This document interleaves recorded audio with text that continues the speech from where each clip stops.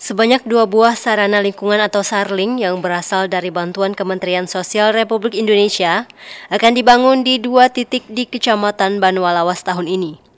Setiap titik sarana lingkungan perlengkap program bedah rumah akan mendapatkan bantuan sebesar 50 juta rupiah dari Kemensos RI. Bantuan sarana lingkungan dapat digunakan untuk membangun fasilitas umum seperti MCK, sarana air bersih, tempat pembuangan sampah, pembuangan limbah, jalan desa, pos kamling, atau balai pertemuan.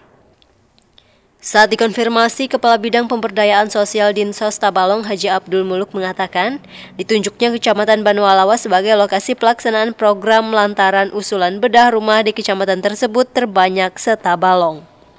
Jadi kami ambil salah satu sampah untuk Tabalong untuk kemarin di Benua Lawas. Kenapa kami ambil di sana? Karena terbanyak paling banyak usulan rumah tidak layak huni itu Kecamatan Benua Lawas itu berjumlah 60 buah. Nah, jadi kami ambil salah satu karena itu terbanyak dan memang kita sadari di sana itu memang penerima rastra pun terbanyak Abdul Mulk menambahkan saat ini pihaknya tengah memverifikasi sejumlah usulan lokasi pelaksanaan program tersebut. Diperkirakan dalam waktu dekat titik pelaksanaan sudah ditentukan. Muhammad Rais, TV Tabalong melaporkan.